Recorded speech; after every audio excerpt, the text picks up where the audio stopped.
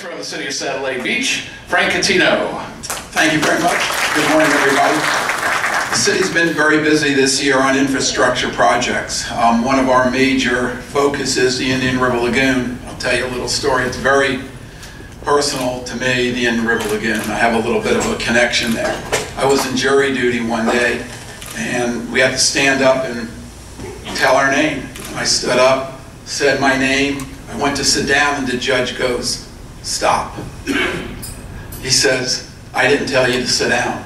He looks at me. I'm like, I hope I didn't do anything wrong. He goes, I just want to look at the guy whose wife has the real job.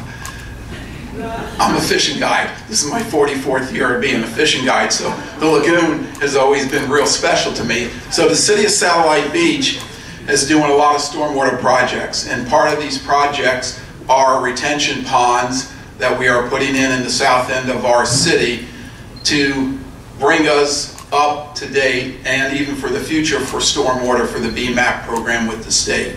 We were able to do this with a P4 initiative with Patrick Air Force Base. It was a great relationship we have with the government. They gave us a big recreation facility, on-south housing.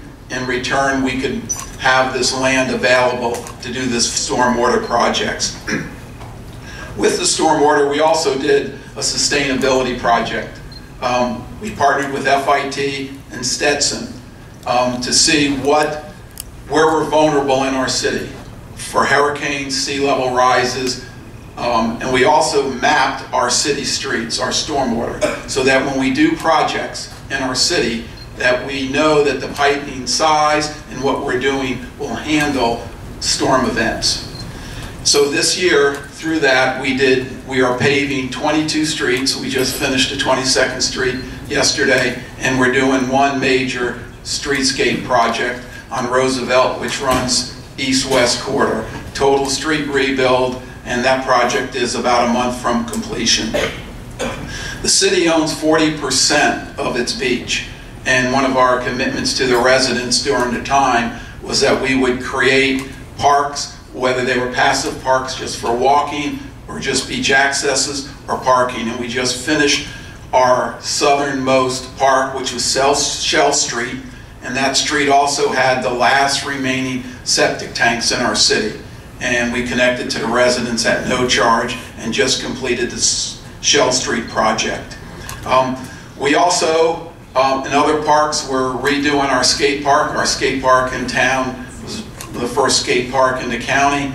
It's about 15 years old and it will get a total facelift. And how we did it is, it's amazing when you engage the youth of the community. They're the ones that would be using this park. They, we formed a committee and they just totally designed the park.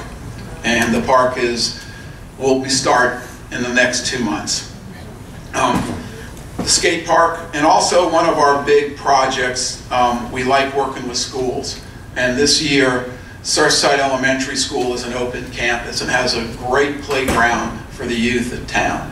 Um, and we, the city donated 25000 to the Surfside to help build this new um, playground that's available for the whole city to use. Um, we're also working on um, some new buildings that will be coming up in Satellite Beach. It'll be starting Ramada, the old Ramada Inn property, which is across from Publix Shopping Center, will start. That'll be a new project. So that's it. Thank you. Thank you, Mayor.